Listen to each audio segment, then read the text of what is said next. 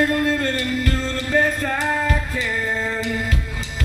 But when it's time for leaving, I hope you understand that I